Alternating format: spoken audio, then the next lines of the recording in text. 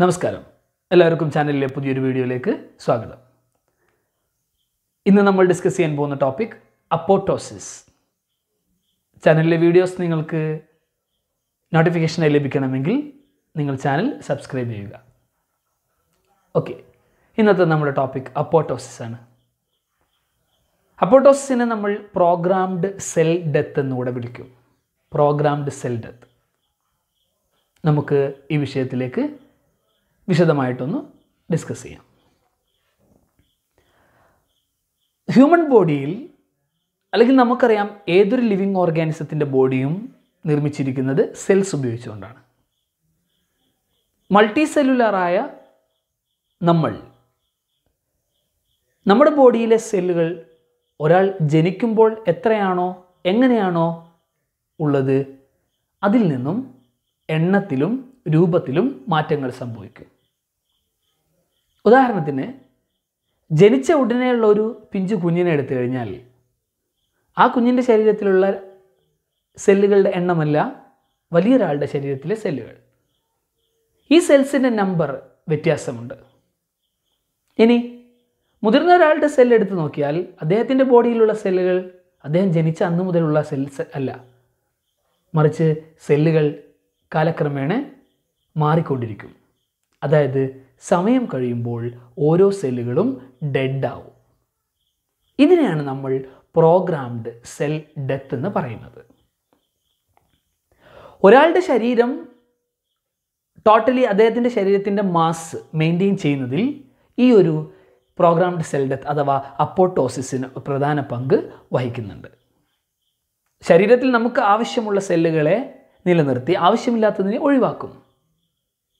ഈ ഒരു പ്രോസസ്സാണ് അപ്പോട്ടോസിസ് ഈ ഒരു പ്രോസസ്സ് നടന്നിട്ടില്ല എങ്കിൽ നമ്മൾക്ക് ക്യാൻസർ പോലുള്ള മാരകമായ അസുഖങ്ങൾക്ക് കാരണമാകും ഒരാളുടെ ജീവിതം നിലനിൽക്കുന്നതിലെ ഒരു പ്രധാന ഭാഗമാണ് ഈ പറഞ്ഞ അപ്പോട്ടോസിസ്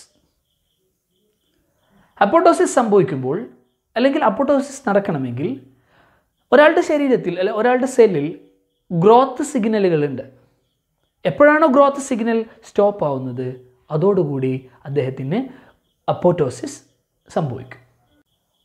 ഒരു സെല്ലിലെ അപ്പോട്ടോസിസ് എന്ന് പറയുന്ന പ്രോസസ്സ് യഥാർത്ഥത്തിൽ ഒരു സെൽ സൂയിസൈഡ് മെക്കാനിസമാണ് അതായത് ആ സെല്ലിന്റെ ഡെത്ത് ആ സെല്ല് കാരണമാണ് സംഭവിക്കുന്നത്. സൂയിസൈഡ് സെൽഫ് ഡെത്ത് ഇതാണ് ഈ പ്രോസസ്സ് അങ്ങനെ ഒരു സെൽഫ് ഡെത്ത് അവിടെ നടക്കണമെങ്കിൽ ഒന്നുകിൽ ആ സെല്ല് സ്വയം ഒരു ഡെത്തിന് വേണ്ടിയുള്ള സിഗ്നൽ പ്രൊഡ്യൂസ് ചെയ്യേണ്ടതുണ്ട്. അല്ലെങ്കിൽ പുറമെ നിന്നുള്ള ഏതെങ്കിലും ഒരു സിഗ്നലിന്റെ ഭാഗമായി ആ സെല്ല് സ്വയം ഡെഡാവേണ്ടതുണ്ട്. മറ്റേതെങ്കിലും സെല്ല് വന്ന് ഒരു സെല്ലിനെ ഡെഡാക്കിയാൽ കിൽ ചെയ്താൽ അതിനെ നമ്മൾ അപ്പോട്ടോസിസ് എന്ന് വിളിക്കില്ല.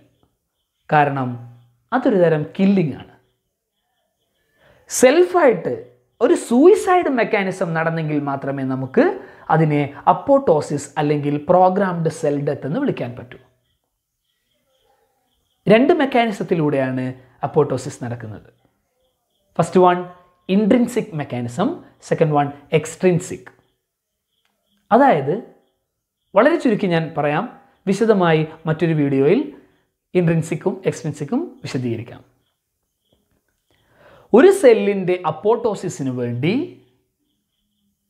ആ സെല്ല് തന്നെ സിഗ്നൽസ് പ്രൊഡ്യൂസ് ചെയ്ത് അപ്പോട്ടോസിസ് നടക്കുകയാണെങ്കിൽ നമ്മൾക്ക് ആ ഒരു പ്രോസസ്സിനെ വിളിക്കാം intrinsic apoptosis or intrinsic mechanism ഇനി അല്ല ഒരു പ്രോസസ്സ് അതായത് അപ്പോട്ടോസിസ് എന്ന് പറയുന്ന പ്രോസസ്സ് നടക്കാൻ വേണ്ടി ആ സെല്ലിന് പുറത്തുള്ള ഏതെങ്കിലും ഒരു ഫാക്ടർ വന്ന് ആ സെല്ലിന് ഒരു സിഗ്നൽ കൊടുക്കുകയാണെങ്കിൽ we can call this mechanism as extrinsic mechanism we can discuss these topics later next video anyway എന്താണ് ഈ ഒരു സിഗ്നൽ എത്തിക്കഴിഞ്ഞാൽ സംഭവിക്കുന്നത്?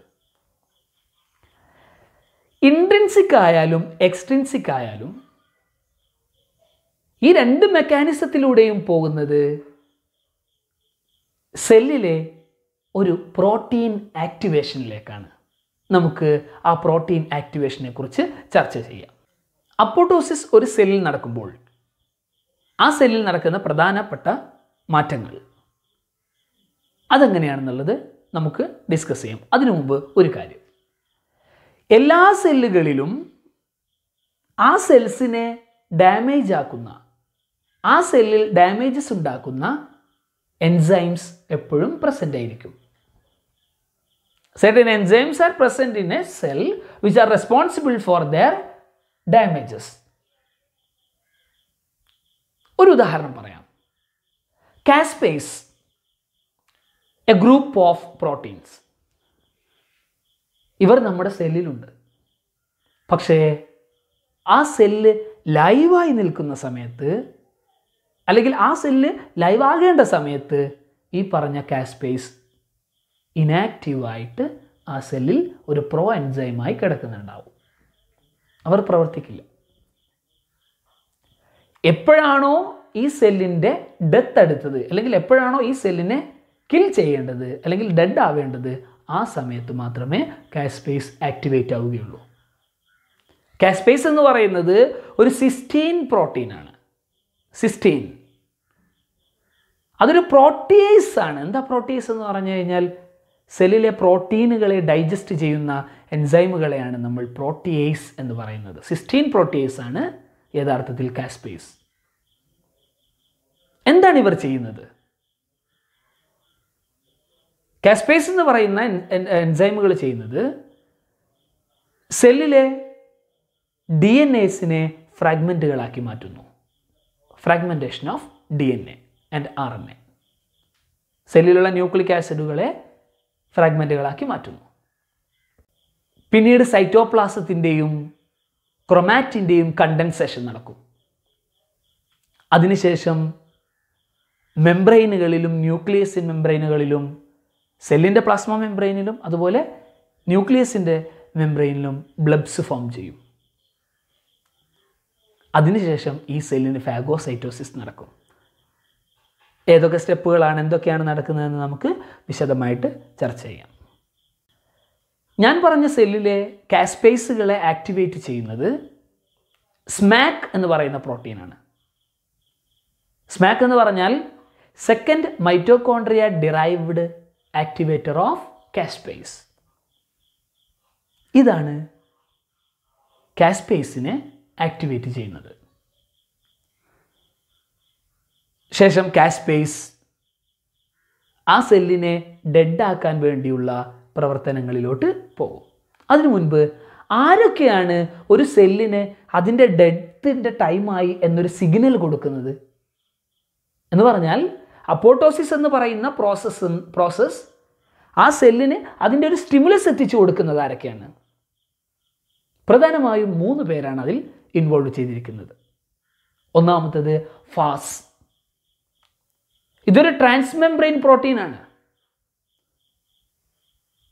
ഇത് സാധാരണ കാണപ്പെടുന്നത് എൻ കെ സെല്ലുകളിലാണ് എൻ കെ സെല്ലുകളെ കുറിച്ച് പഠിച്ചിട്ടുണ്ടാവും.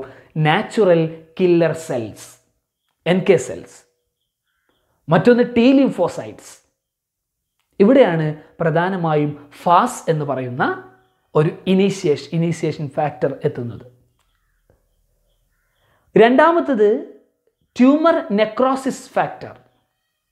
മൂന്നാമത്തത് പി ഫിഫ്റ്റി ത്രീ എന്ന് പറയുന്ന ഒരു പ്രോട്ടീൻ. ആരാണ് പി ഫിഫ്റ്റി ത്രീ നമ്മുടെ ഡി എൻ എയിലെ ഒരു ജീൻ ക്രോമസോമിൽ കാണുന്ന ഡി എൻ എയിലെ ഒരു പാർട്ടായ പി ഫിഫ്റ്റി ത്രീ എന്ന് പറയുന്ന ജീനാണ് ഈ ഒരു പ്രോട്ടീൻ പ്രൊഡ്യൂസ് ചെയ്യുന്നത്. ഇവർ മൂന്ന് പേരുമാണ് ഒരു സെല്ലിനുള്ള നിർദ്ദേശം. ആ സെല്ലിന്റെ അപ്പോട്ടോസിസിനുള്ള ടൈം ആയി എന്നുള്ള നിർദ്ദേശം കൊടുക്കുന്നത് ഇവരാണ്.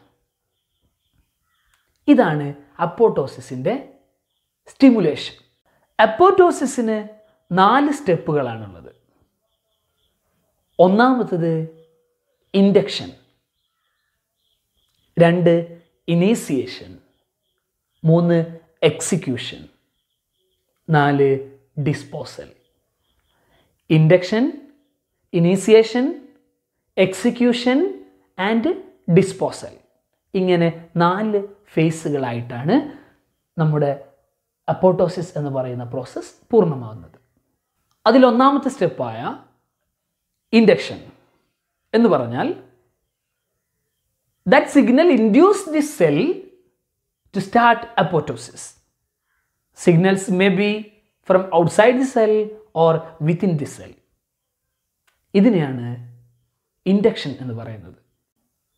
ഫാസ് ടി എൻ എഫ് പോലുള്ള സിഗ്നലാണ് ഒരു സെല്ലിനെ അതിന്റെ അപ്പോട്ടോസിസിന് വേണ്ടിയുള്ള ആ ഒരു സ്റ്റാർട്ടിംഗ് മെസ്സേജ് ഇൻഡ്യൂസ് ആ ഒരു മെസ്സേജ് കൊടുത്ത് അതിനെ ഇൻഡ്യൂസ് ചെയ്യിക്കുന്നത്. ദെൻ രണ്ടാമത്തെ ഫേസ് പറഞ്ഞു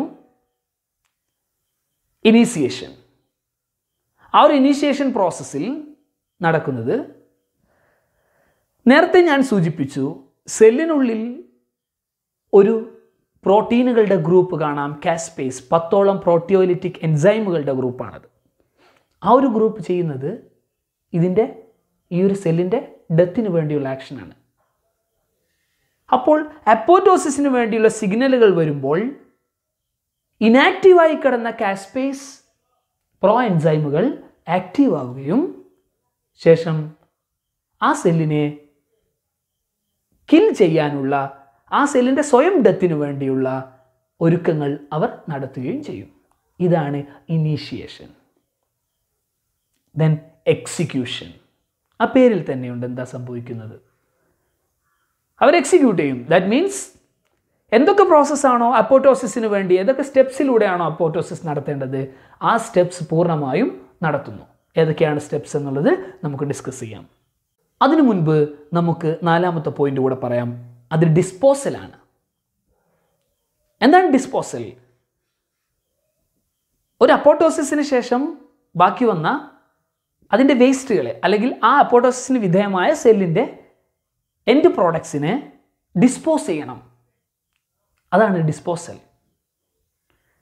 ബോഡിയിലെ ഫാഗോസൈറ്റിക് സെൽസ് അവർ പോയി ആ സെല്ലുകളെ ഫാഗോസൈറ്റോസിസ് എന്ന പ്രോസസ്സിലൂടെ അവർ ഇൻജസ്റ്റ് ചെയ്യും ഉള്ളിലോട്ട് എടുക്കും ഇതാണ് നാലാമത്തെ step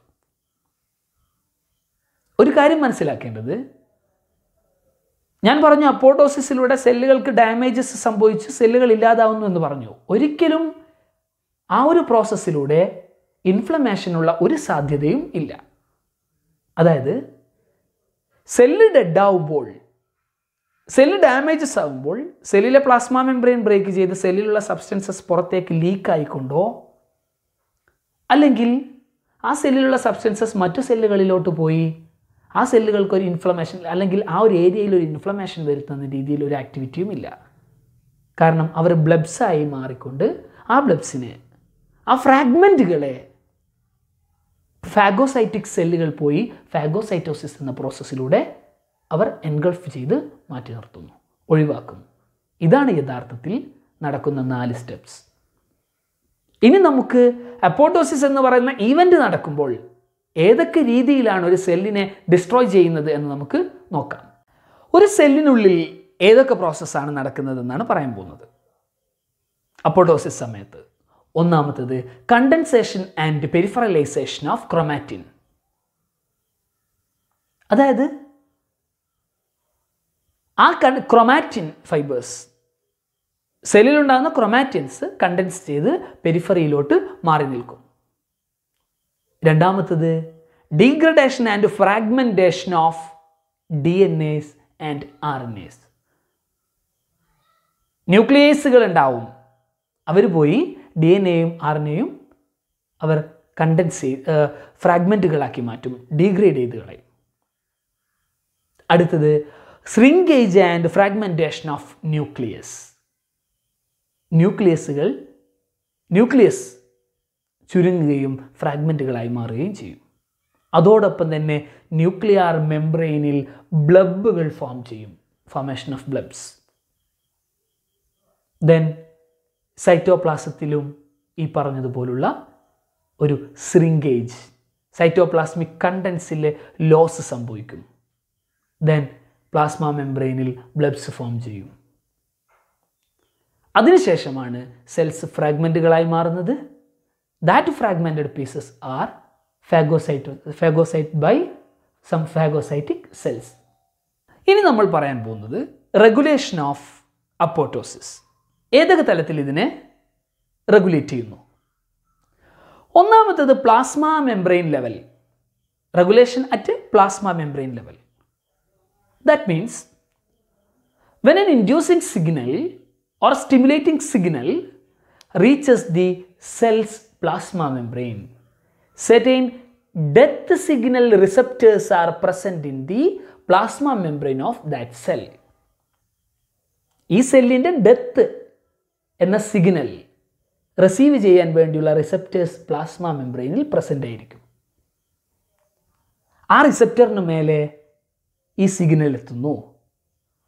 Then they send that signals to cytoplasm ഇതാണ് പ്ലാസ്മ മെംബ്രെയിൻ ലെവലിലുള്ള ഒരു കൺട്രോൾ റെഗുലേഷൻ രണ്ടാമത്തത് സൈറ്റോപ്ലാസം ലെവൽ എന്ന് പറഞ്ഞാൽ ചില പ്രോട്ടീൻസ് സൈറ്റോപ്ലാസത്തിലുള്ള ചില പ്രോട്ടീൻസ് സെല്ലിന്റെ ഗ്രോത്തിനെ സപ്പോർട്ട് ചെയ്യുന്നവരായിരിക്കും.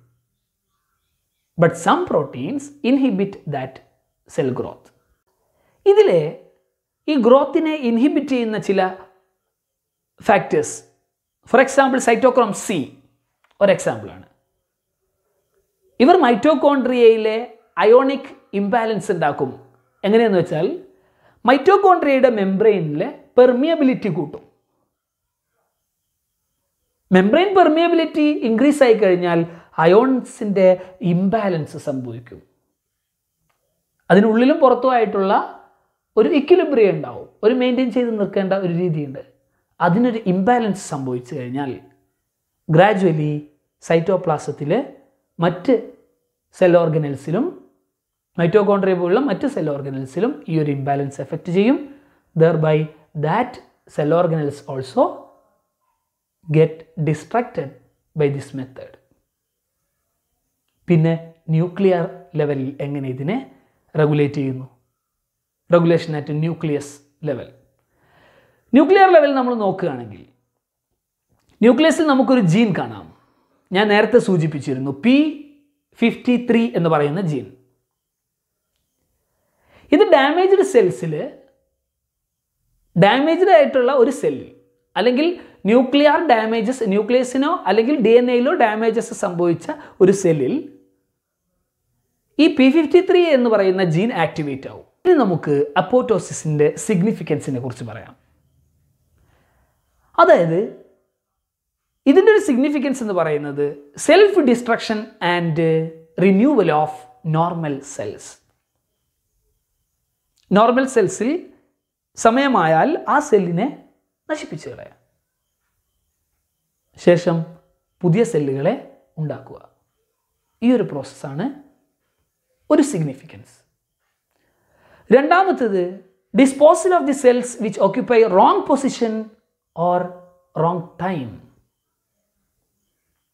ചില സെൽസ് കൃത്യമായി നമ്മുടെ ശരീരത്തിലെ എവിടെയാണോ അവർ അവരുടെ അവരുണ്ടാകേണ്ട സ്ഥലം അല്ലെങ്കിൽ എവിടെയാണോ അവരെത്തേണ്ട സ്ഥലം അവിടെയല്ല റോങ് ആയ ഒരു പൊസിഷനിൽ അവരെത്തി. അല്ലെങ്കിൽ റോങ് ആയ ടൈമിൽ അവരെത്തി. ആ ഒരു ടാർഗറ്റ് സെല്ലിൽ ആ ഒരു ഏരിയയിൽ ഒരിക്കലും ആ ഒരു സെല്ലിന്റെ ആവശ്യമില്ല. സോ അവരവരുടെ എസ്റ്റാബ്ലിഷ് ചെയ്യുന്നതിന് പകരം അപ്പോട്ടോസിസിലൂടെ അവരുടെ സെൽഫ് ഡെത്ത് സംഭവിക്കുന്നു. ഇതാണ് രണ്ടാമത്തെ സിഗ്നിഫിക്കൻസ് മറ്റൊന്ന് അവോയ്ഡ് ഓട്ടോ ഇമ്മ്യൂണിറ്റി സെൽഫ് സെല്ലുകളെ നമ്മുടേതായ സെല്ലുകൾ. ഞാൻ മറ്റൊരു ഡിസീസുമായി ബന്ധപ്പെട്ട് ഞാൻ ഓട്ടോ ഇമ്മ്യൂണിറ്റിയെക്കുറിച്ച് മുമ്പുള്ള വീഡിയോസിൽ നമ്മൾ ഡിസ്കസ് ചെയ്തിട്ടുണ്ട്. ആ ഓട്ടോ ഇമ്മ്യൂണിറ്റി പ്രകാരം ഓൺ സെല്ലുകളെ നമുക്ക് ഹാംഫുൾ അല്ലാത്ത നമുക്ക് യൂസ്ഫുൾ ആയ സെൽസിനെ ആന്റിബോഡീസ് നമ്മുടെ ആന്റിബോഡീസ് ഡിസ്ട്രോയ് ചെയ്യുന്നതാണ് ഓട്ടോ ഇമ്മ്യൂണിറ്റി അപ്പോൾ ഇത് പ്രകാരം അപ്പോട്ടോസിസ് എന്ന് പറയുന്ന പ്രോസസ്സ് നടക്കുന്നതിലൂടെ ഓട്ടോ ഇമ്മ്യൂണിറ്റി നഷ്ടപ്പെട്ടു പോയ ഓട്ടോ ഇമ്മ്യൂൺ ഡിസോർഡേഡ് ആയ സെല്ലുകളെ ഇവർ നശിപ്പിക്കുന്നു. ദെൻ മറ്റൊരു സിഗ്നിഫിക്കൻസ് എന്ന് പറയുന്നത് disposal of unwanted or damaged or excess cells നമുക്ക് ആവശ്യമില്ലാത്തതോ അല്ലെങ്കിൽ അമിതമായതോ അതുമല്ലെങ്കിൽ ഡാമേജ്ഡ് ആയ സെല്ലുകളെ ഡിസ്പോസ് ചെയ്യുക ഒഴിവാക്കുക എന്നുള്ളതാണ് ഇവരുടെ മറ്റ് ഈ ഒരു പ്രോസസ്സിന്റെ മറ്റൊരു സിഗ്നിഫിക്കൻസ് മറ്റൊന്ന് വൈറസ് ഇൻഫെക്റ്റഡ് ആയ സെൽസിനെ ഡിസ്ട്രോയ് ചെയ്യുക. വൈറസ് ഇൻഫെക്റ്റഡ് ആയ സെൽസ് സ്വയം സൂയിസൈഡ് ചെയ്യുന്നതിലൂടെ ഒരു ബെനിഫിറ്റ് എന്ന് പറയുന്നത് ആ സെൽ ആ വൈറസിന് അവിടെ സർവൈവ് ചെയ്യാൻ പറ്റില്ല. ഡെഡായി കഴിഞ്ഞാൽ. മാത്രമല്ല ഡെഡായ ഒരു സെല്ലിൽ നിന്നും മറ്റൊരു സെല്ലിലോട്ട് ട്രാൻ ആ- ആ ഒരു വൈറസിന് ട്രാൻസ്ഫർ ചെയ്യാനും പറ്റില്ല. അപ്പോൾ ആ ഒരു വൈറസിന്റെ സ്പ്രെഡിങ് നമുക്ക് പ്രിവെന്റ് ചെയ്യാൻ അപ്പോട്ടോസിസ് ഹെൽപ്പ് ചെയ്യുന്നു. ഇതൊക്കെയാണ് അപ്പോട്ടോസിസിന്റെ സിഗ്നിഫിക്കൻസ് നമുക്ക് അപ്പോട്ടോസിസുമായി ബന്ധപ്പെട്ട ഒന്ന് രണ്ട് എക്സാമ്പിൾസ് കൂടെ പറഞ്ഞ് നിർത്താം.